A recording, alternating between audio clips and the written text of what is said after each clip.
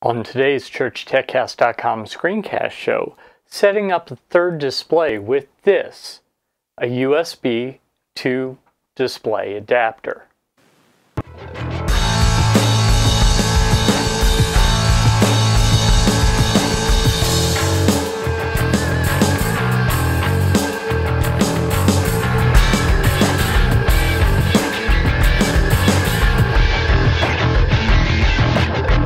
Hi, and welcome again to another episode of the ChurchTechCast.com screencast show. This is the show where every week I show you how to use software that we use in the church, mostly ProPresenter. I admit, need to diversify, but right now there's just so much with ProPresenter 6, so we're going to stick with it for a while. My name is Paul Alan Clifford. I'm your host. I'd love for you to join the conversation and ask your questions, so just do that below the video. That would be cool.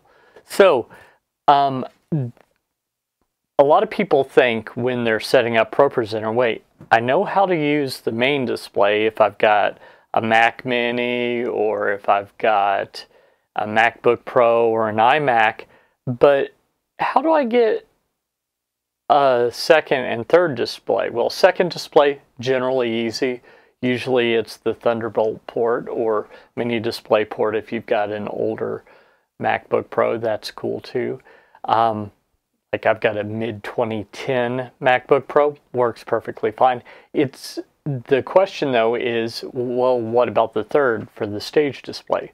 Well, there are some Macs that have the ability right from the factory to have three displays connected, uh, either an internal and two external displays, or maybe three external displays. But most people don't have those because they were kind of the exception and not the rule. So how do you get the third display out? Well, you use a USB to display adapter. So let's head over to my computer. I'll show you the one that I'm using and show you a little bit about setting it up because the software that it comes with is for Windows only. So this, if you've got a Windows computer, the, you can use this by all means. But if you're using a Mac, as I am, you'll need to go somewhere else. So let's head over and we'll talk about that. Okay, let's start with the adapter. This is the one that I bought in January of this year. Now, I can't guarantee that yours will be like this, but mine was. It says VGA and DVI only, but mine also came with You'll notice this is a DVI output. Mine also came with a DVI to HDMI adapter. So with the DVI to VGA adapter and the DVI to HDMI adapter, the only major format that I can't do without another adapter is SDI. And I'm okay with that for 30 bucks. Uh, this is 1920 by 1080p. Uh, it says it'll do more, uh, 1600 by 1200, but I think for most churches 1080p is plenty. Uh, if you need something beefier, this one uh, at $10 more may do the trick for you. I don't know. I haven't tested that one.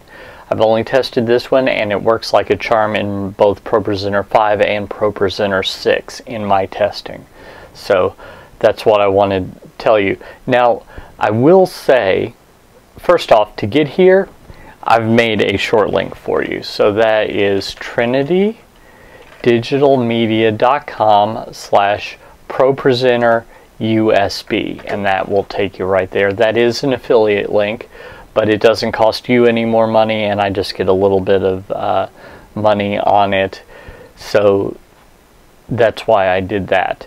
I've also made another one, and this is a short link at trinitydigitalmedia.com slash diamondmmosx for the driver.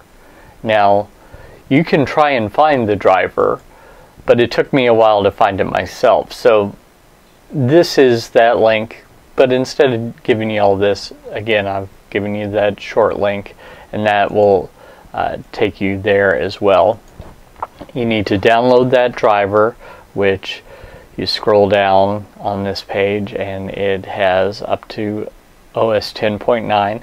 As I'm recording this, uh, El Capitan is not out yet, OS 10.10. So OS 10.9, which is um, the version um, OS 10 Yosemite, that's what I've got and it's running fine. So right now that's the way that I would uh, recommend that you look. This was released in March March 24th of 2014. So you're probably going to be okay when that releases, but just to be safe, I did want to point that out that uh, this does not say that it works for the latest version of OS 10, which is still in beta as I'm recording this. So you will need to download and install this before you plug in your display and you plug in your USB adapter. But once you do that, then you should, here let's go to System Preferences. You should be able to go to Displays and you should have three tabs here. Display, Arrangement, and Color. So click on Arrangement and you should see three displays. If you don't, first thing to check is the mirroring displays here. Make sure that is unchecked. And then you should see the three. You should see the control screen, the main output, and then the stage display. And they may not be arranged this way. Cool thing about OS 10, you click on that, you see that red bar that just showed up all around the screen.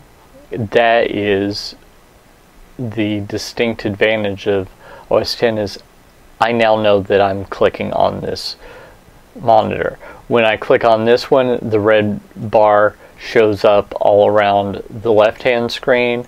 The red bar shows all around the right hand screen and I can drag and drop these where it makes sense. So it could be that I want to drag this one in front because it is in front of me as the main display out and it could be that this one is behind me as the stage display. Maybe it's over my head.